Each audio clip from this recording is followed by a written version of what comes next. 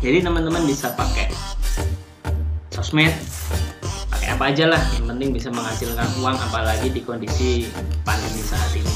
Jadi teman-teman uh, pastikan follow IG saya juga follow channel ini juga like subscribe tulis di komentarnya teman-teman mau saya bahas tutorial apa. Hai, dengan saya Rahmat di sini.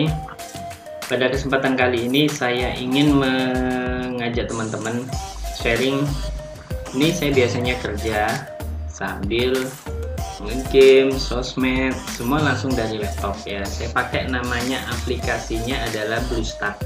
Jadi BlueStack ini aplikasi yang um, bisa dibilang sebuah emulator ya. Jadi Android dalam Windows atau di laptop Anda lah memainkan aplikasi Android di laptop Anda. Nah, di sini juga sama ada Google Play, ada aplikasi saya pakai Canva untuk ngedraft ya, teman-teman. Nah, aja teman-teman. Nah, ini contohnya ya. Ini kemarin yang sempat saya buat desainnya beberapa desain ya. Kayak kemarin ini kita bikinkan uh, desain ya ini yang motivasi kemarin. Ya. saya coba load aja dulu. Ya nanti saya akan membahas lebih lanjut uh, bagaimana sih membuat sebuah konten ya untuk digital marketing untuk sosmed kita dengan menggunakan Canva ya. Ini nanti kita nanti akan saya ajarkan deh caranya gimana.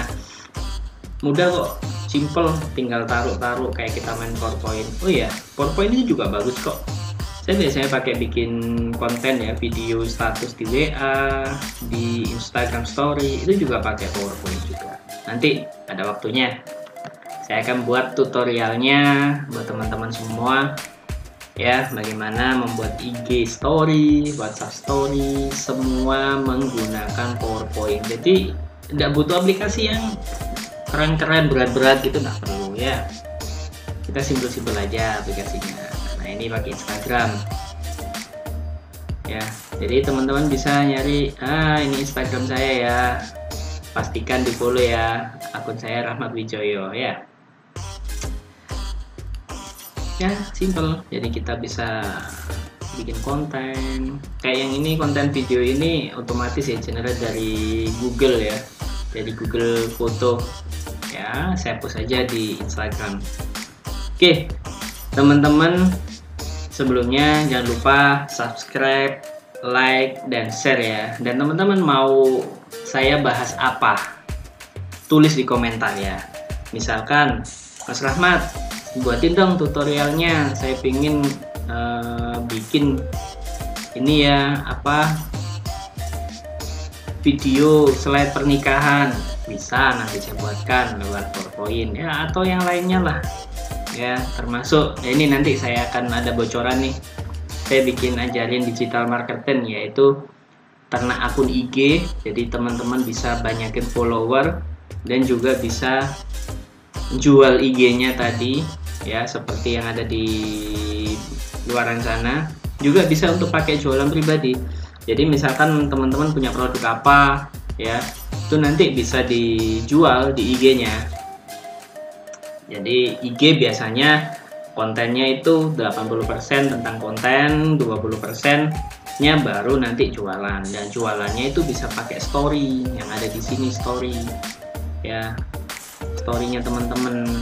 Nah ini tinggal dimasukin di sini storynya.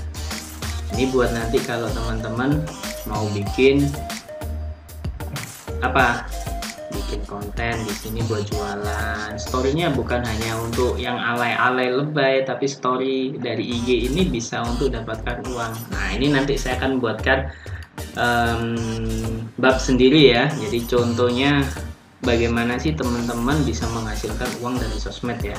Ya saya dari rumah kerja digital marketing dari sosmed menghasilkan ya ratusan juta dari rumah bahkan rumah yang pakai ini hasil dari sosmed ya digital marketing juga ya.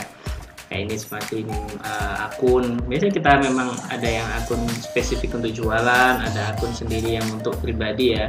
Jadi teman-teman ya untuk menambah uang lah tidak masalah kan? Sembari kita juga bisa belajar kan? Ya kan? Nah teman-teman tulis deh di komentar mau diajarin apa atau mau dibuatkan tutorialnya tentang apa nanti saya akan buatkan ya. Nah ini termasuk saya bisa menikmati jalan-jalan ke luar negeri di Disneyland bersama istri saya. Ini juga semua dari internet semua. Modalnya cuma apa? Handphone ya. Handphone kuota ya. Kuota internet kalau nggak punya kuota.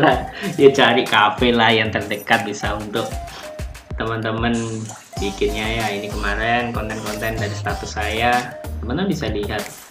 Saya jualannya hanya 20 80% konten 20% jualan. Jadi saya pisah ya. Akun itu nanti saya pisah akun IG sama akun jualan saya pisah jadi yang ada di akun pribadi itu adalah untuk personal branding. Nah ini saya waktu di Tokyo Tower ya teman-teman.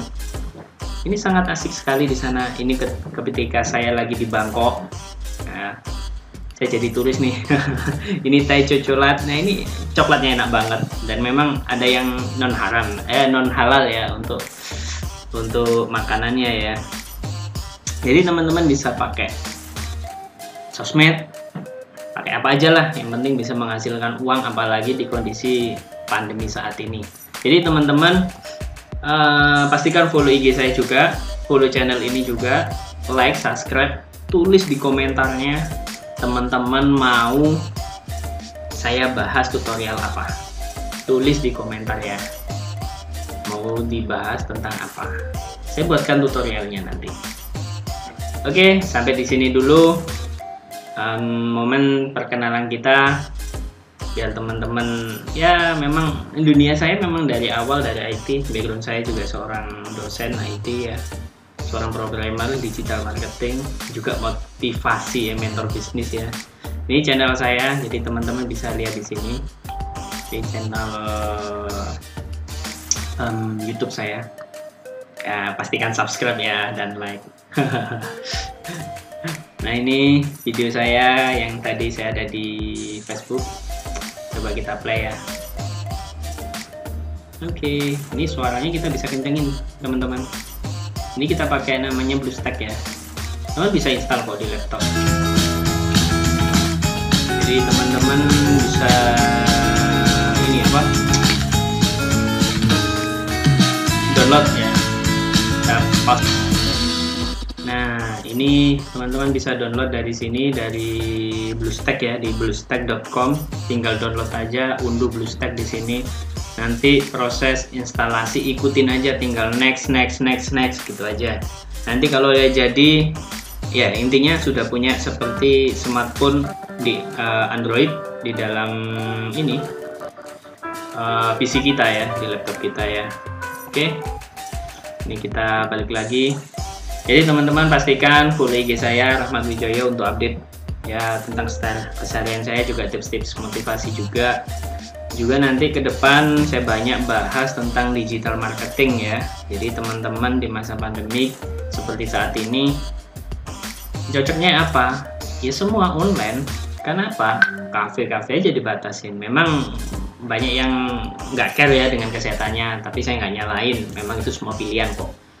Saya sendiri masih sering keluar tapi tetap pakai protokol kesehatan ya. Jaga jarak pakai masker bawa hand sanitizer um, kalau bisa sih pakai pelindung ya APD misalkan pakai helm pakai kacamata ya ngurangin aja lah resikonya. Jadi seperti itu.